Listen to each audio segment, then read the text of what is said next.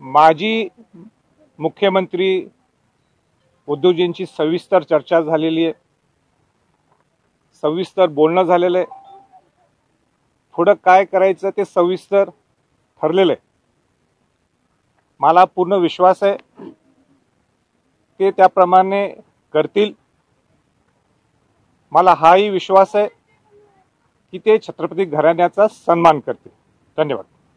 संभाजीराजे हे एक स्वतंत्र व्यक्तिमत्व आहे ते अपक्ष लढणार आहेत.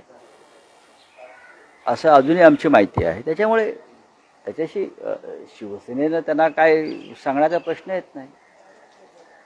त्यांच्याकडे बेचाळीस मतं आहेत.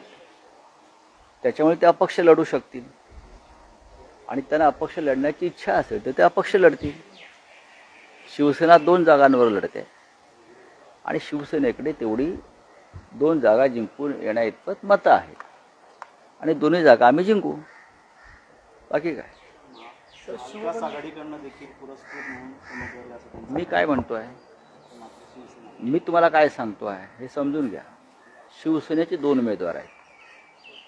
मी शिवसेनेविषयी बोलतो. महाविकास आघाडी म्हणून म्हणाल तर आमचे चार उमेदवार निवडून जातील.